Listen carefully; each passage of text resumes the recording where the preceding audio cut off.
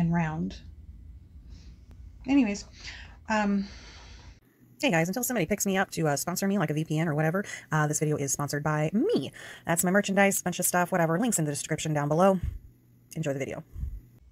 hi, and welcome to my channel. So today I'm doing something kind of new. New to me. I don't know if anybody else is doing the same thing. I've seen people do similar parts of what I am planning on doing. Um, so, like, I love watching Bailey Sarian, okay? Uh, for her murder, mystery, and makeup Mondays. Shana Sha, right? Okay, so I love watching her, but I can't do makeup. You can watch my video that I did the other day. I'm never going to do makeup again. This is going to be the extent of it, my eyes. However, I'll probably do one of her eye makeup tutorials because she's she's pretty genius and I love her. And um, anyway, so I love watching her and I love watching Cyndee Black. There are a couple other girls that do the murder mystery thing. And I've watched them, but they're kind of pretentious and some of them get on my nerves. I'm not going to drop any names because I'm not trying to be messy, but um, yeah, anyway, so this is not that. I'm not doing murder mystery because there's already enough people out there doing that. And um, if it ain't broke, don't fix it, right? So I'm not trying to hop into something that other people are already doing and doing an excellent job of it. Very well researched. All of them, they're just, they're pretty phenomenal. So I'm not doing that. Um, so then I was like, well, what else interests me? Well, I love ghost stories. I've got lots of ghost stories of my own. Uh, also, yeah, that's um, other people already doing that. And I'm just like, you know, hmm. See, what really got me thinking about it is because I listen to this podcast, uh, That's Why We Drink. And I love them. And uh, that kind of got me thinking. I was like, ooh, podcasts. But I already have two podcasts. I have the one that's my Hypocritical View podcast, which I just relaunched that this last Wednesday. And then I have the one that I just started that I'm doing with my mom on Sundays, where we like drink and talk about her life story. So I wasn't trying to do another podcast series. So, anyways, the point is, is I decided that what else am I passionate about? Well, guess what? I'm passionate about women who have been whorified.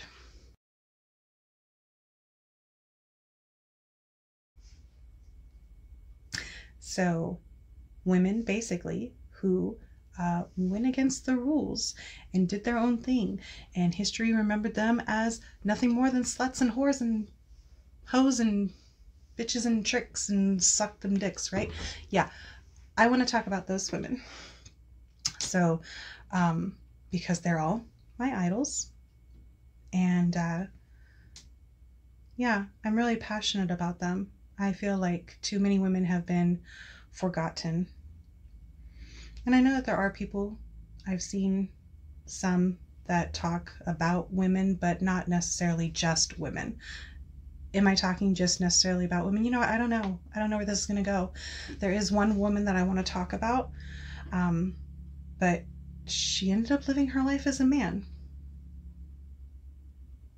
And since she's dead, I'm not really sure how to talk about her. So I'm not sure if she would want to be remembered as a man or a woman. Anyways, anyways, so that's what we're doing. But guess what? Here's where Bailey really inspired me. Since I don't do makeup, and me sitting here doing my makeup while I'm talking about this kind of stuff just doesn't make any sense because uh-uh, no. Um, what I do do is I love to paint implied genitalia. So pussies, that's what I paint, okay? I love painting it. You can look on my website, okay? This right here, yeah, this is all me. This is, um, it's called Passion. And it's, uh, so the, like the shirt's okay, but like when I go like this, like you can't it doesn't so you have to stretch it out right anyways um yeah, so this is just like uh this is called Passion in Salmon. Available on my website. Selfish plug. Long story short, so that's what I'm going to do. I'm going to talk about these women who have been whorified in history and I'm going to paint some pussies. So, I've already gotten the uh the canvas ready. Okay. If you don't follow me on Instagram, be sure to because that's where I'm always sharing my paintings and my artwork and whatnot. Anyways, I was going for like this leathery feel, well, this look to it. And so for today's lady, this is going to be perfect, in my opinion, IMO, uh, because today, today, we're going to talk about Mary Wollstonecraft. Have you heard of her? Because guess what? I hadn't heard of her prior to deciding that I wanted to do this little series. Oh my gosh, I'm shaking the hell out of the table. Sorry. I'll try my, my best not to. Anyways, I didn't know who the hell she was until I picked up this book. Now, this book, when, um, well, not when, but like a few years ago, I bought this book. And I bought it when I bought like a bunch of other books, roughly the same kind of idea thing. And so when it arrived, I got distracted and it went up on a bookshelf and I totally forgot about it. So then when I had this idea a couple weeks ago, I was like, all right, if I'm going to do this, let me learn about somebody new for like the first episode, right? Let me do that because that sounds fun. And I just went like this. And the first person that I that it turned to, which of course it would have been nice if I would have um kept the pages marked. Anyways, uh it was Mary Wollstonecraft and I'm like, okay, cool. Who is she? Well, guess what? She's Mary Shelley's mom Mary Shelley, the one who wrote Frankenstein. Yeah, so that's who Mary Wollstonecraft is. And other than that, I mean, what else do you know? All right, so I'm going to start painting while we get cracking on this, okay? Wow, this is interesting. Um, totally new little thing here, guys. Um, never done this before so bear with me. Um, so, Mary Wollstonecraft was born in um, April 27th, 1759. She was a Taurus, all right, um, in a place called Spitalfields, London, because that's a great place for a whore to be born. So, Mary Wollstonecraft was the second uh, oldest child of Elizabeth Dixon and Edward John Wollstonecraft, I believe. And uh, she had an older brother named Jim? Ned. Ned. Ned. And, uh, anyways, uh, okay, here's why I wanted to talk about her. So she was known as a uh, like a philosopher. She was a war correspondent. She she did like all kinds of shit, and history for the longest time remembered her as just a just a silly woman, you know, just some chick that had some issues, and that was all because her husband uh, father of Mary Shelley, wrote like this memoir after she died. And um, it was kind of bullshit, right? Um, okay, well, that wasn't bullshit. What was bullshit was what he had written was uh, like just this memoir and some of her unpublished stuff. But then he was like, hey, yeah, so she uh, she tried to commit suicide a couple of times and she kind of like was really passionate about shit and like he just kind of said, kind of like aired out her business, right? Which her contemporaries at the time, who were like her fans, they thought that was kind of some bullshit. Um, but whatever. After after a while, nobody was really on her side anymore. So it was like for well over a hundred years, like nobody remembered her for the stuff that she had done. And now you're probably wondering, okay, cool. So what did she do? Well, Okay, so she grew up in this town of Spitalfields, and her father, Edward John Wollstonecraft. So, like, he was this total dick, right? Like, he would beat her mom. He, um, okay, so see what ha- happened was her grandpa, his dad, passed away and in the will left them like a bunch of money. Now they were already kind of like okay people and um as far as finance what are you doing? What are you back up?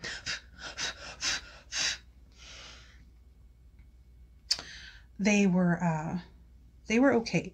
What the fuck am I saying? So they were like uh you know, they're they're doing their thing, whatnot, um, just living their life. And so grandpa dies and leaves them like a buttload of money. But by them I mean um so Mary's dad and then Mary's oldest brother and then also uh, Mary's aunt. So I guess like Edward's sister. Edward? Yeah, Edward. Um, but like nothing was left for any of the girls. Now I don't know if she had any other brothers, but she did have. See, there were seven of them, so she had like. The fuck was that? So she had like five other siblings, right? And uh, a couple of most of them, some of them, whatever. There there was some sisters in there, um, like Eliza and. Um, Erlina or something. I don't know, some some really pretty name, and of course, naturally, I don't remember it. Um, anyways, so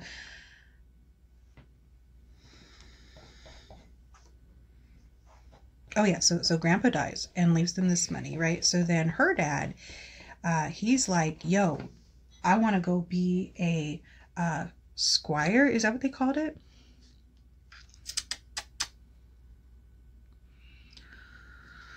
yeah, a country squire. And I'm like, what the hell is a country squire? So that's a landowner. All right. So it's like, you know, part of the gentry, like, hey, you know, we're, we're cool. Look at us. So he moves them out to this place called something. Oh, to Epping Forest in Essex.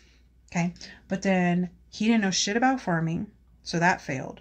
And like this whole time, he's like spending money like crazy. The family's not doing well and uh he is you know he's drinking so he's going crazy as far as like being just a dick and he just starts just beating the hell out of her mom and she watches this and she watches this and she sees this and she even like started sleeping outside of her mom's bedroom to keep him from being able to beat her and like her mom never really appreciated it so she got like nothing out of that so like over time she just started to really hate her dad and really started to just kind of feel sorry for her mom.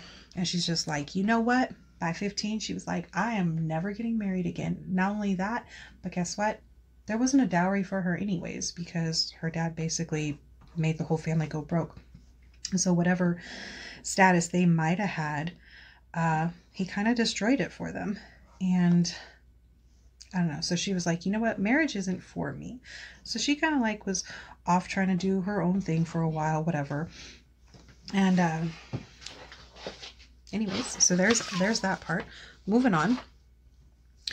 Uh, after she decided to move out. No, okay, so before she moved out. So when she was like 14, now here's here's where it gets kind of iffy.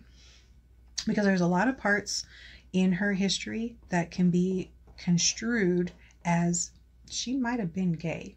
She might have been gay or she might have been um, bisexual. Uh, I guess the jury's out on that, but you tell me what you think. Okay. So when she was like 14, she had a friend.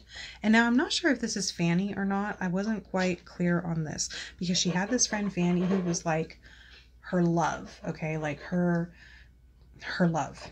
And, um, we'll get to Fanny here in a minute. Um, but it was this one friend. God damn it. I, I wish I'd have written it down. But anyway, so she had told her friend, and I quote, she said, and I quote, I will have the first place in your heart or none. So, in other words, like, I'm your number one bitch. So, yeah. Um, she was described as being the type of person that wore her heart on her sleeve. She, uh, tempestuous, uh, very very emotional. Basically, like she didn't care if she felt something, she was going to let you know that she felt it. It's all right, girl, that's cool. She despised women who were like, just, extra, I guess. Uh, no, maybe maybe not extra. Maybe she was extra. They called it an excess of sensibility, which she had, which to me just kind of sounds like opposite of what she had, but whatever. I mean, I don't make up the words. I'm just going off of what they said. Um, which, by the way, when I was doing research on her, like it started off with the book, and then I was like, okay, cool. Let me just, you know, see what's in Wikipedia. So I go into Wikipedia, and then there's like a shit ton on her, and I'm like, what the hell? Okay, cool. And then I start looking at the different resources. You know, how they list them at the bottom and whatnot. All right, cool. So I'm looking at that. And then that leads me to like all this other stuff. And I'm like down all these different rabbit holes. And, you know, she was just being tweeted about November 10th. Yeah, November 10th of this year.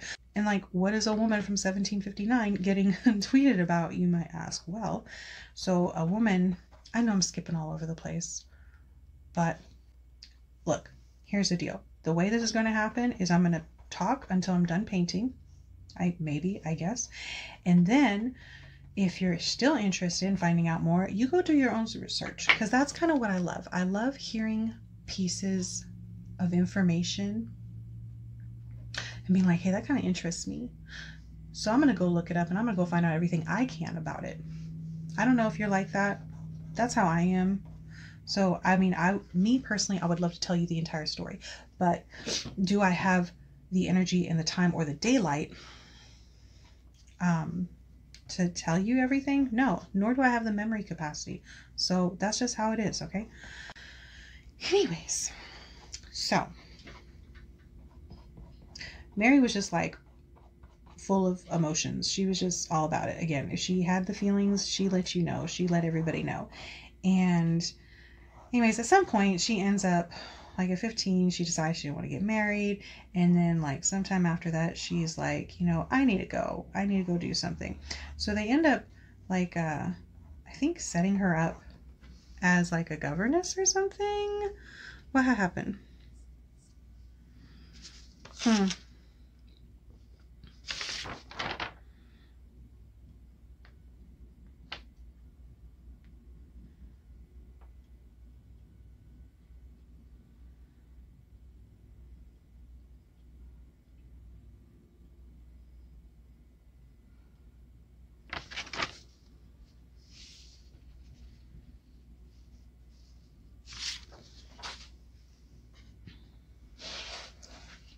Okay, so this is a lot harder than I thought it would be.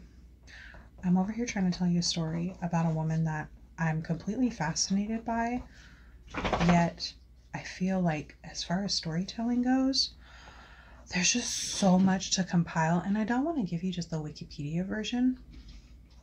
So I'm just, I'm gonna, I'm probably gonna be mixed up on this, right?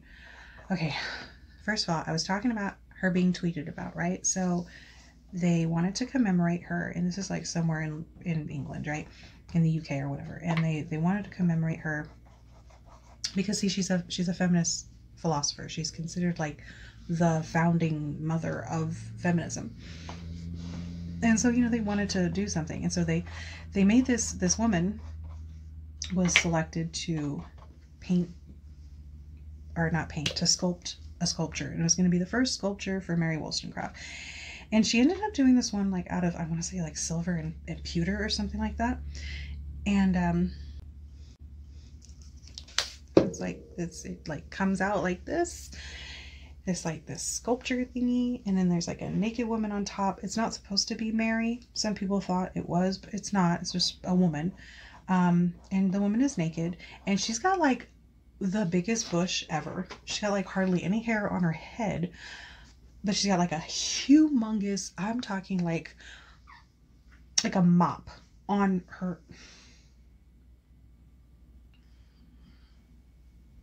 I mean look, look I'm I'm out hair is cool. Hair is cool. I'm not hating. It just looks really odd in the sculpture, but I paint vaginas, pussies, whatever. Uh, so I'm, I'm not going to knock another artist for uh, how they represent womanhood just not going to do it. I mean, I, I think if I would have done that, I, I just would have gotten a little bit smaller. But I mean, may, maybe I'm wrong. Maybe people really do have bushes that are just that huge. Um, and round. Anyways, um, so, anyways, at some point, her sister Eliza has, um, like she she has a baby, and Eliza's husband is call you know, not calls but asks Mary to come and hang out with them, and maybe help her sister because her sister I guess is having um, just you know issues right. And so Mary goes to help Eliza, who just gave birth to a little girl, and to try to make her feel better. But either Eliza or Mary, one of them convinced the other to that Eliza should run away, basically leave the kid and run away. And so that's what happened. Mary helped Eliza to run away. And then when Eliza was like, "Oh, maybe I shouldn't do that," Mary was like, "No, no, no, you should totally do it." Um, you know, like helped her kind of stick to her guns on that. And then everything just ended up going to shit for Eliza after that. And basically, she ended up having to be like a woman with a job at that point because her husband basically didn't let her come back. Um, number one, because she left, but number two, because uh, the the little girl, the daughter, ended up dying like before her first birthday. So it was just really sad.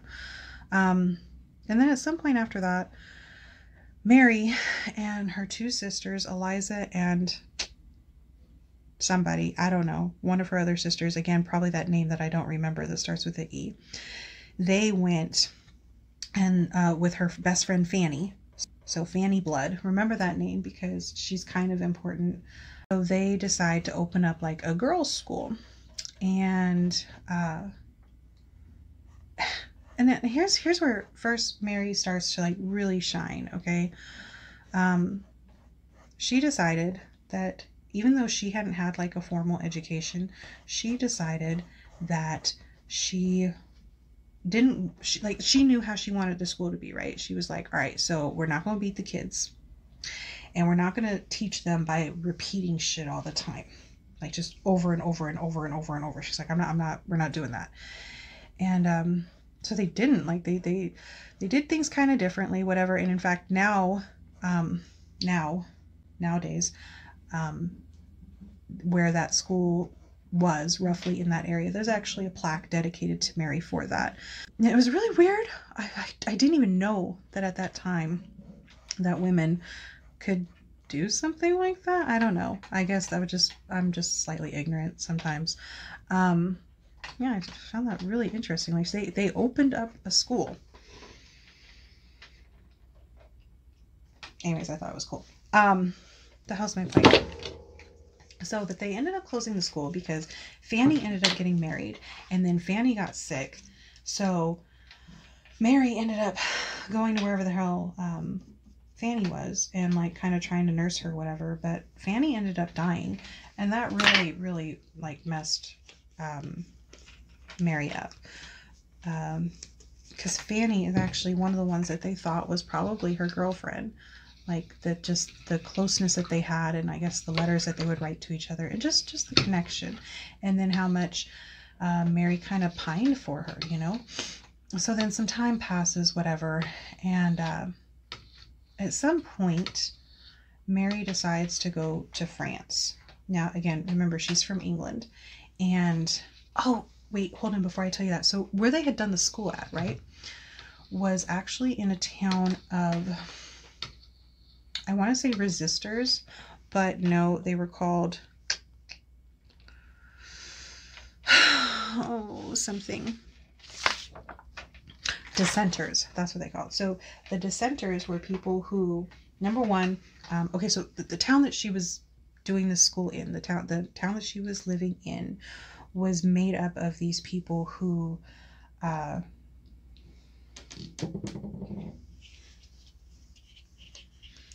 didn't uh, support the. No, no, no, no, no, no, no. What are you saying? What are you saying? Um, the people who were the dissenters were, um, oh, for the love of Pete, they were people who sympathized with the American War, uh, with the Revolution. Okay, like they were people who were like, oh yeah, you know, America should totally be free. Um, and uh, they were also made up of basically anybody that wasn't like part of the Church of England. Okay, so uh, because and, and and and that's actually how she was able to do the school was because those people um, were like not allowed to like go to regular school because of their church type beliefs. I want to say, was it that?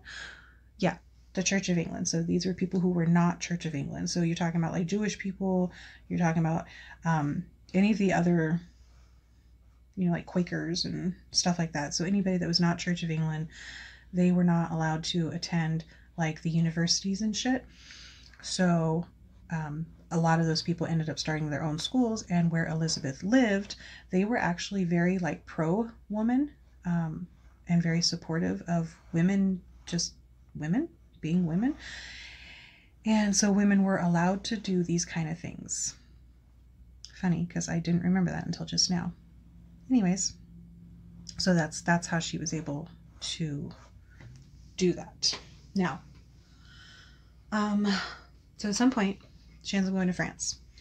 And while she's in France, she meets an American, I want to say his name is George Imlay.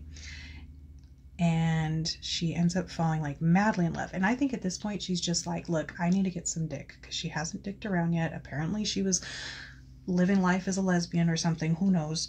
Um, so she was just like, and, and I'm, I'm, it's really not kind of making that up. It's kind of really the way, uh, she basically kind of described it was just she figured it was time and she didn't want to wait to be married and so she'd fallen in love with this american uh, soldier who was like visiting over in france and uh, then you know she ends up getting pregnant because he's an american he's not like in danger of being in france at the time because it's like right around the french revolution and because she's English, she is. So he tells everybody and like kind of forges documents, whatever, to be like, oh no, she's my wife.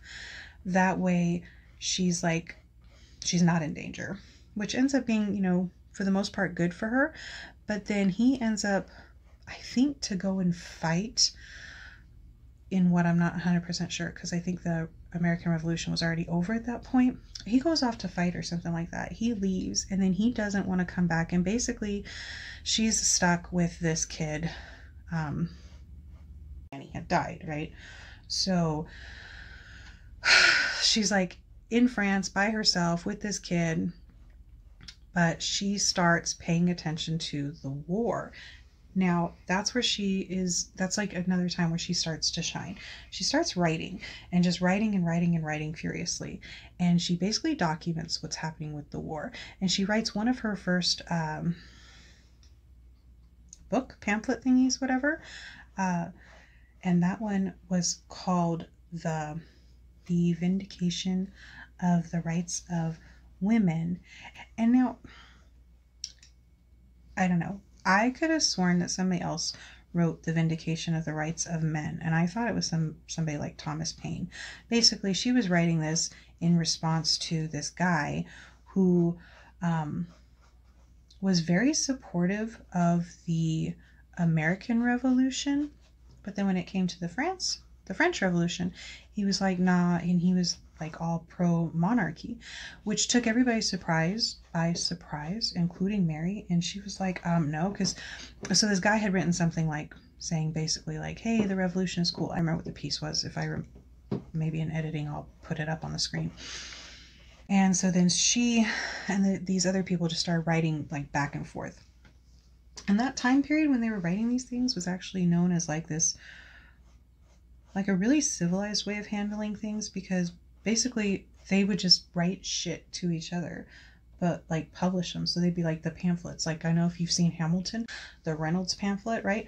So like this is just what they do. This is how they would kind of solve and, and pass ideas off. Is actually in that like she was a woman who was putting out these ideas that people were reading and loving and even um, abigail adams so John Adams's wife, like she was influenced by her. And uh, I want to say Bronte also was, but maybe it wasn't Bronte. Maybe it was nope, I do believe it is Bronte. Yeah, so she, even she was influenced by her. Like a lot of people were just like her writing was just that good, right? So she comes out with this vindication of women and of the rights of women, and um, people are like, oh, okay, dang. In fact, um, Aaron Burr, he even gave it to Theodosia, his daughter, to read. Like he insisted that she read it. That this was this was important work that Mary did. And then, so she has this baby and baby Fanny. And she doesn't know where the hell George went. George went off somewhere. So apparently he's like maybe off in Scandinavia or something. So Mary's like, all right, you know, let me go and see if I can, you know, get my man to come home, right? Maybe if he sees me and the baby, he'd be like, all right, I'm gonna come home, be with you.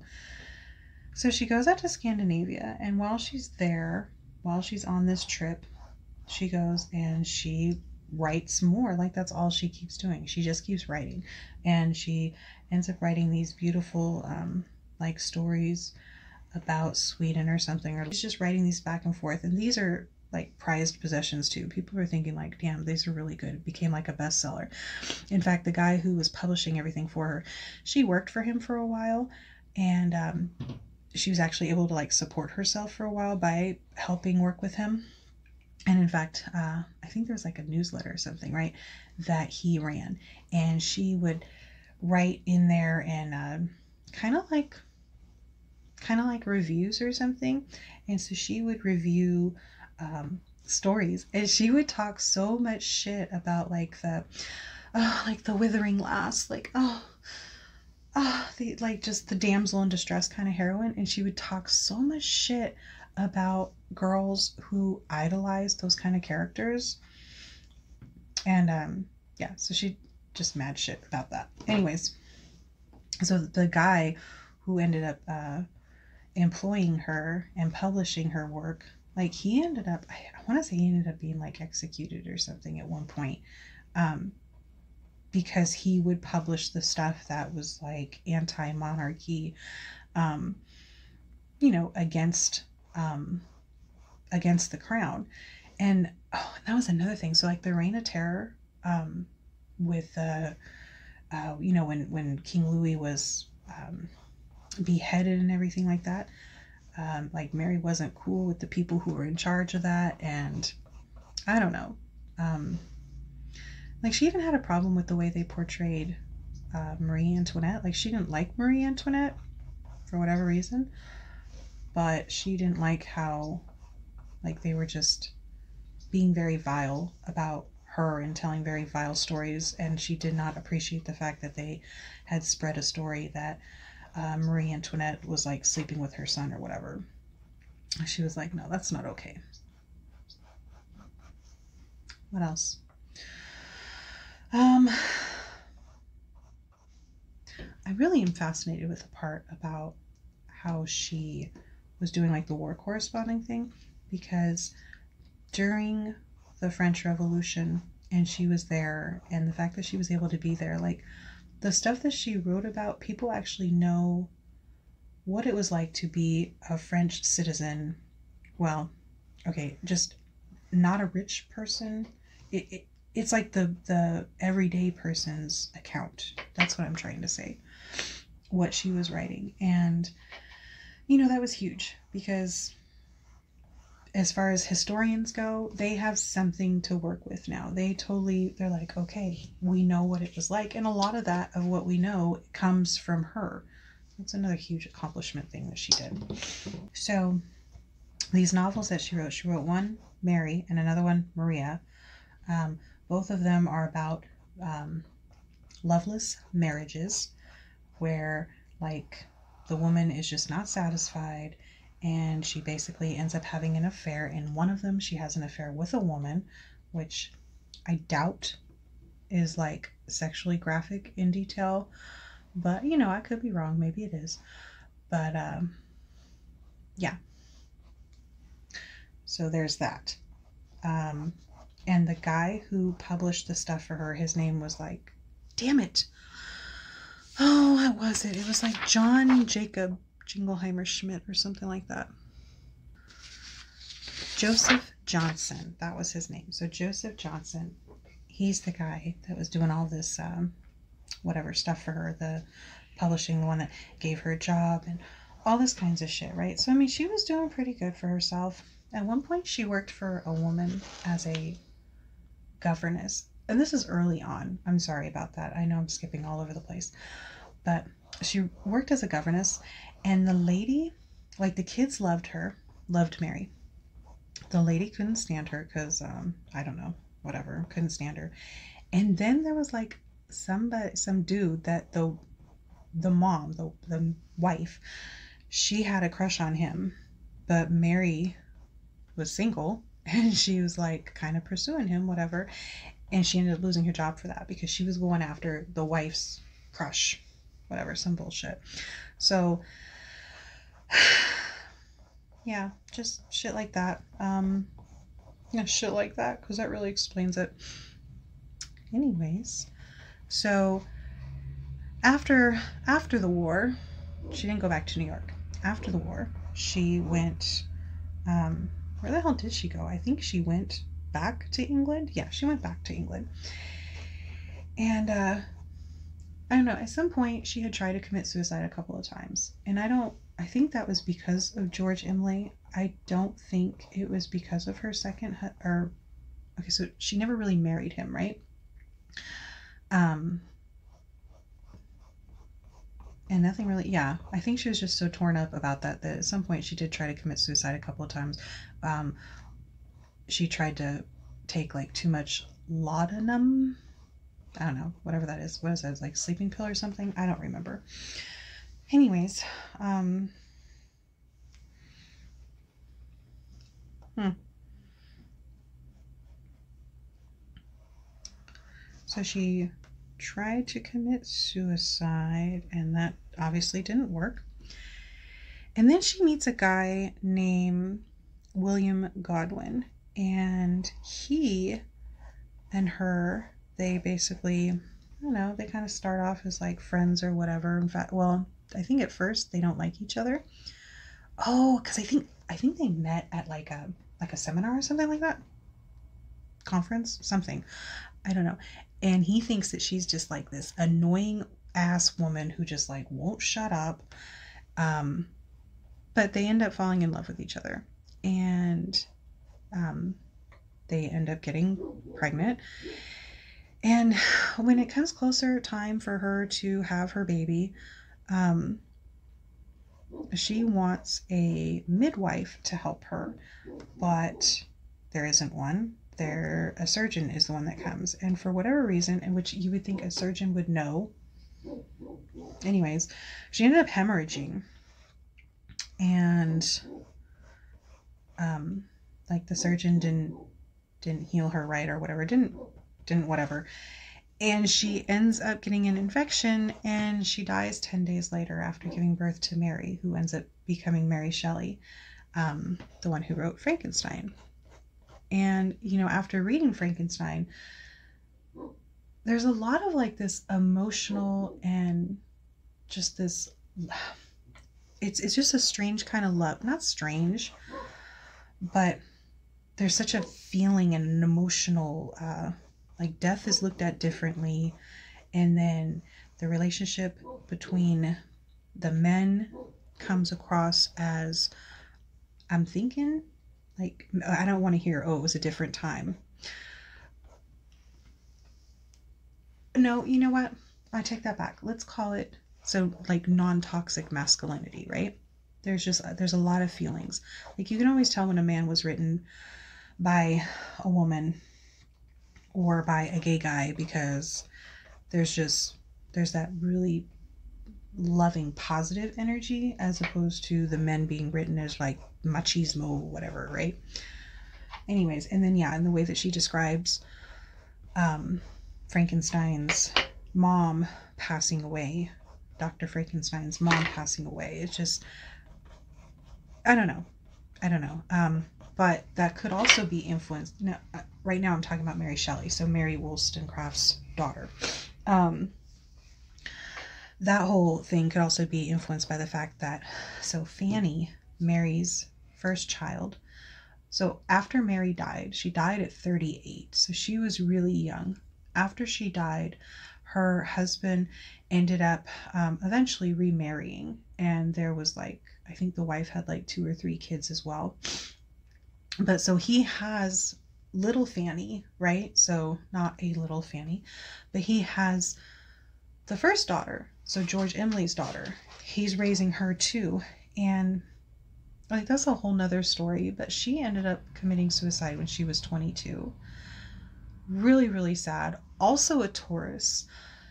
So it just just that that that passion like I just I don't know. Sometimes I think that those those passionate feelings are, you know, they're in our DNA. And I don't know, I just kind of find it a little bit fascinating.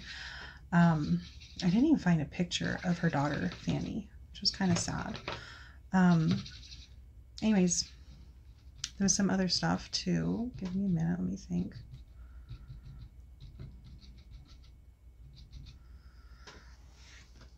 Okay, so then after she dies, um, her husband, William, he goes on to like publish these memoirs. And like he he publishes all of she had so much work that like hadn't been um hadn't been published. Like she didn't finish it right? So she had all this work. And um just a bunch of stuff that just was left unfinished and i just i find that so so sad. And uh you know i think that's probably one of my biggest fears is like oh my gosh what if there's stuff that i can't finish? What if i uh you know run out of time? Definitely one of my biggest fears and i think that's one of the reasons why i was so drawn to her. So was just like oh relatable totally relatable. Um excuse me. Uh, so what he does is he goes and he, he publishes a lot of her stuff posthumously, posthumously, posthumously. But he also writes this memoir, and it's like um, I don't know if it's like reflections on or how he phrases it, but basically, it's about the author that wrote Vindications of a Woman or Vindication of Women, and uh, it's it's met with such ridicule and it it ends up destroying Mary's entire reputation. Like people were looking at her like she was this um, philosopher and this person who really made a difference. And no uh, this one one stupid uh, oh for the love of pete this one story, this one book, this one memoir written after the fact that talks about how she was so passionate and how she um, oh for the love of shit. Guys this is really hard. This is really hard. Wow. And especially since i know i'm like all over the damn place. Okay this is me just trying something new so hopefully my next ones will be a little bit better. But then again, I don't know. I don't know because telling a story to a camera, God, it looks so freaking easy when other people do it. I'm like, oh wow, like they can remember all this stuff. That's fascinating, and the cue cards and all that kinds of shit. And I'm like, I'm like high level stressing right now. Um, I have no idea what I was saying at all.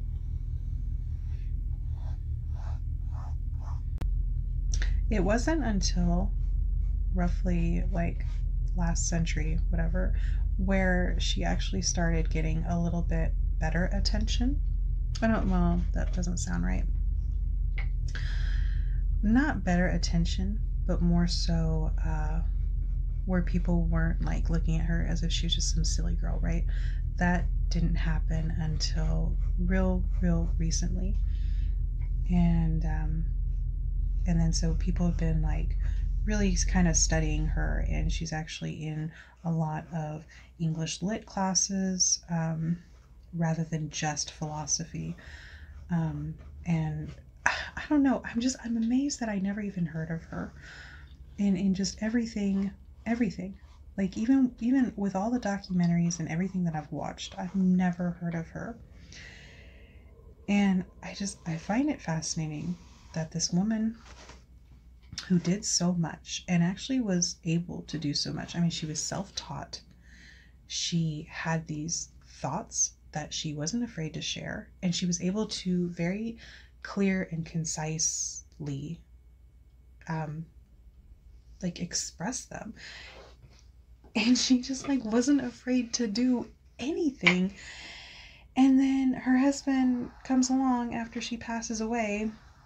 She passes away because some guy is completely inadequate and doesn't know what the fuck he's doing. And you know she should not have passed away. And it was just such a fucking tragic event that it like i'm just i'm so in awe of this person. I'm i'm so in awe of her just the more i read about her the more i'm like damn. Damn like she lived her life by her own rules. And at the time her contemporaries they all thought like hell yeah this woman is amazing. Yeah this woman is kind of doing stuff. Um, and she makes sense and have you read this? You know? And,